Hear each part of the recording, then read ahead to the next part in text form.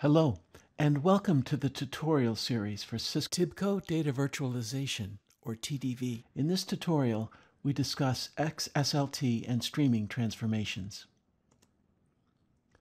Note that tutorials are not meant to be comprehensive training modules. Instead, they demonstrate a very basic use case that can be built quickly and easily. However, the data virtualization knowledge base contains additional information that will help you learn more and go deeper.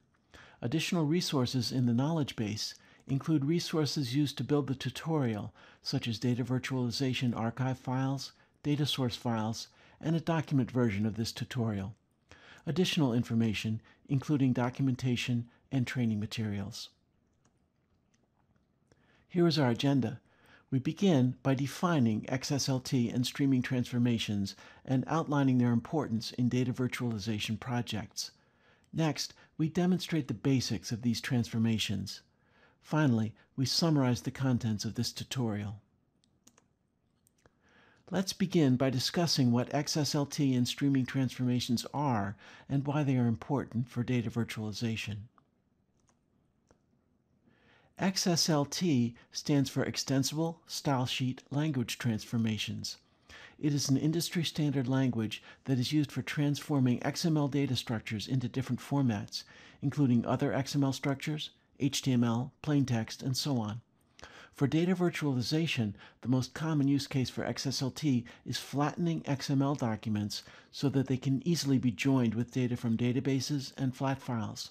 TDV Studio includes an XSLT transformation editor that provides graphical tools for defining XSLT transformations. TDV Studio also includes a streaming transformation editor. Its interface is identical to the XSLT editor, but it adds the capability of working with very large data sets that cannot be completely held in memory. Because its functionality is identical to the XSLT editor, some developers use the Streaming Transformation Editor for all use cases.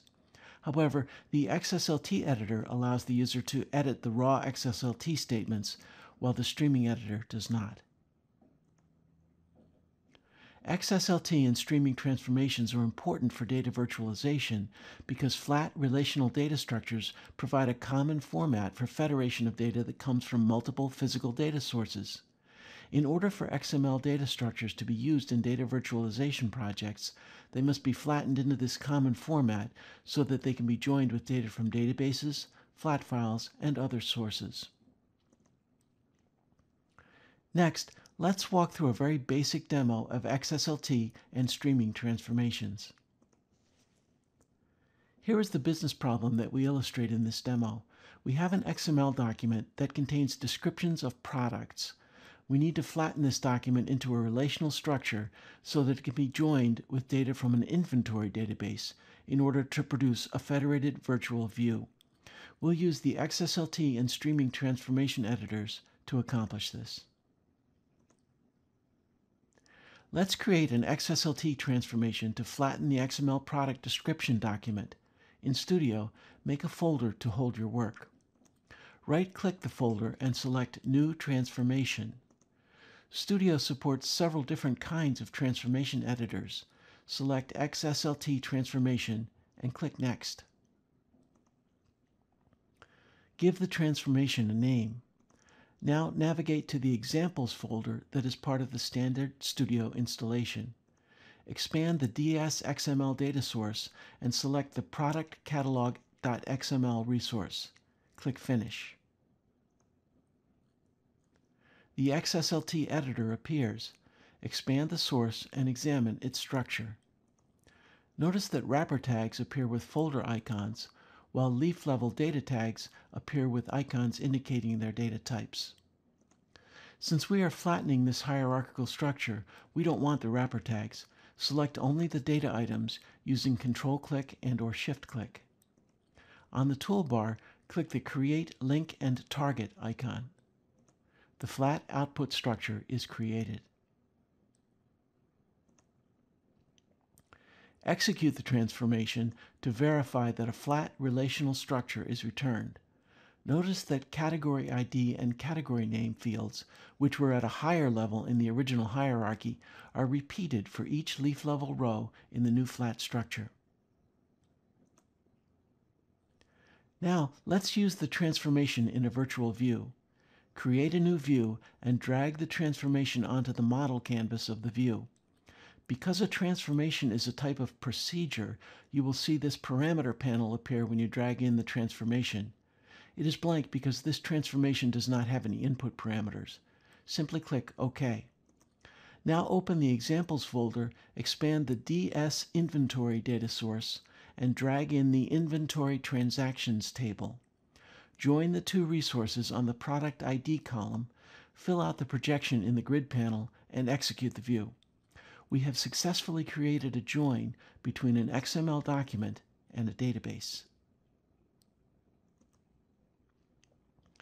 In the previous example, we showed a quick and easy way to flatten an entire XML structure.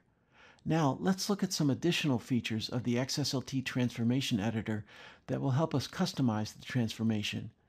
Create a new transformation, name it, and once again select the product catalog.xml document from the examples folder. Now select only the category ID field and click Create Link and Target. Our output structure contains only the selected column. In the Output target, right-click the new column and select Rename. You can change the output column name to anything you like. We can also build a transformation by defining the output first. Click in the output area, then on the toolbar click Add, select a decimal data type, and an output column is created, which you can rename. Here we call it prod ID. Next, out of varchar, and name it prod desc. Now that we have created two new output columns, return to the source side of the editor and select the product ID field. Click the Create Link icon. A link is created from the input product ID to the first available output, which is prod ID. I can also use drag and drop to create a link. Oops, I picked the wrong input field. I select Delete Link, Confirm, and the link is removed. If I want to change the order of the output columns, I can use the up and down arrows. Finally, if I want to perform some highly custom transformation steps, I can edit the actual XSLT statements. This capability is beyond the scope of this tutorial. We have examined XSLT transformations. Now let's look at streaming transformations. This is an appropriate choice when an XML data source is too large to be completely held in memory. As you can see, the editor interface for the Streaming Transformation Editor is identical to the XSLT editor, except that the XSLT tab is not present. You can use the Data Map tab just as we did before to flatten the document. We have seen how to flatten XML documents using both the XSLT Transformation Editor and the Streaming Transformation Editor. Our demo is complete. Let's summarize what we've seen in this tutorial. XSLT stands for Extensible Style Sheet Language Transformations. It is an industry standard language that is used for transforming XML data structures into different formats, including other XML structures, HTML, plain text, and so on. For data virtualization, the most common use case for XSLT is flattening XML documents so that they can easily be joined with data from databases and flat files. TDV Studio includes an XSLT transformation editor that provides graphical tools for defining XSLT transformations. TDV Studio also includes a streaming transformation editor. Its interface is identical to the XSLT editor, but it adds the capability of working with very large data sets that cannot be completely held in memory. Because its functionality is identical to the XSLT editor, some developers use the Streaming Transformation Editor for all use cases.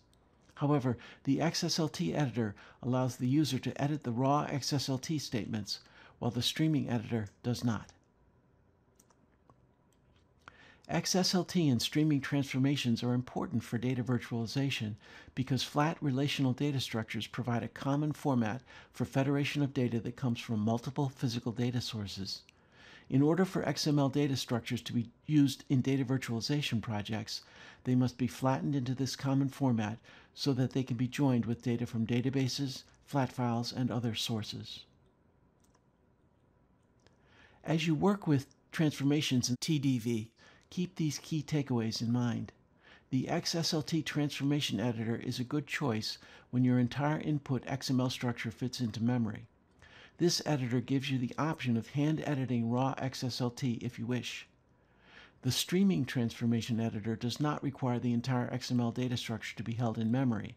However, it does not allow hand editing of raw XSLT. After completing this tutorial, you are ready to expand the types of data sources you can use in TDV. Use your learning from this tutorial to transform XML data into flat relational structures that are ready to be joined with data from other sources. Leverage your knowledge to create more complex XSLT-based transformations. Use other tutorials to learn about additional transformation editors that are included in TDV Studio. Thank you.